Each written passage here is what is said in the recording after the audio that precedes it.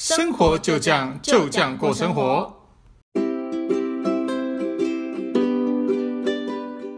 很感谢这几天舅舅舅妈的照顾。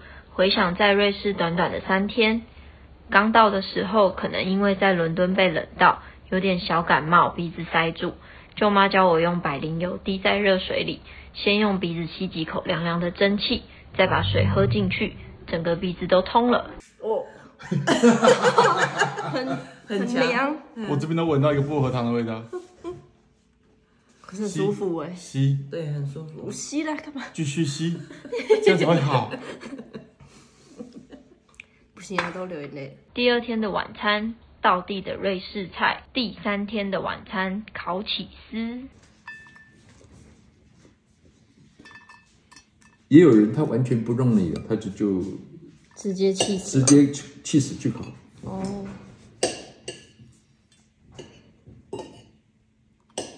然后我先把马铃薯先切那个小一片一片这样子，然后等一下气死过来的时候，我就直接浇在上面。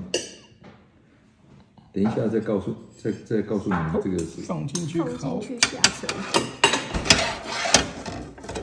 要一段时间的。没关系。那这段时间就刚好就聊聊天嘛。有你们现在先吃看看出来已经烤焦了。可以这样。好，对对对，这个时候已经已经差不多了。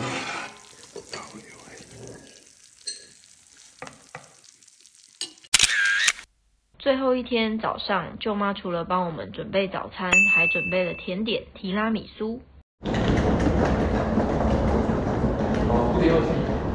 对，然后要对阿姨。第五号。嗯哼。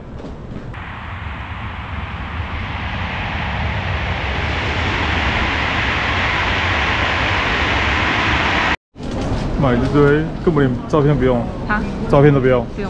OK 我们刚刚买完那个 Navigo Pass，OK Pass Navigo 周卡，OK，好。离安车站这个候车的地方，晚上应该很吓人。应该会蛮黑的。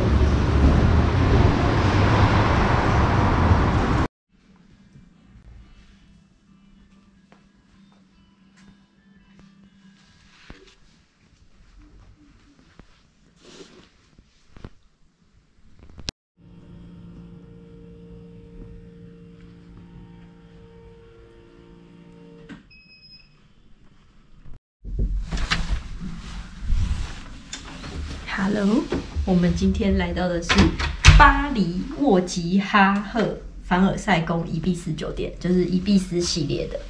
然后我们先介绍环境好了，一进来的正门口进来就是浴室，其实还蛮大的，它就是洗手台嘛，然后吹风机的，好像法国吹风机好像都是这样子，就是地挂式的，然后也是伊比斯系列都是这种，就是三合一的，头发、身体、洗手，对，然后马桶一样小小的，还有浴缸，然后哦，这是可以开的，莲蓬头，对，窗户应该是不能开了。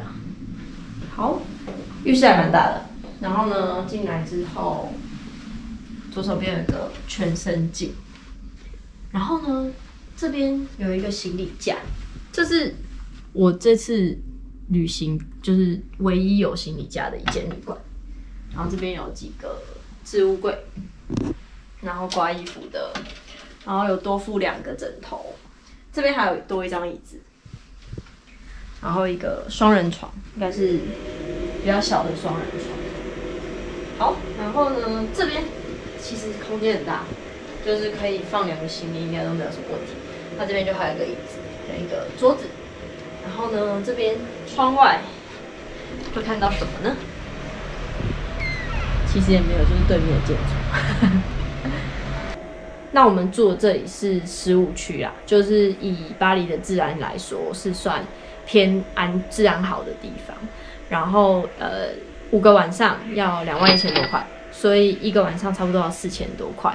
那以在巴黎的住宿来讲，就是算很平价的住宿了。然后大小空间啊，什么都还算 OK。那另外是它的插座，床头这边这边的话有一个，然后这里电视下面有一个，对，然后这个桌子这边下面还有一个，然后其实门口那边还有一个，这儿，对，应该算是足够用啦。对，那房间现在还算亮，晚上就要看看。对，好，那伊比斯巴黎的就介绍到这里喽。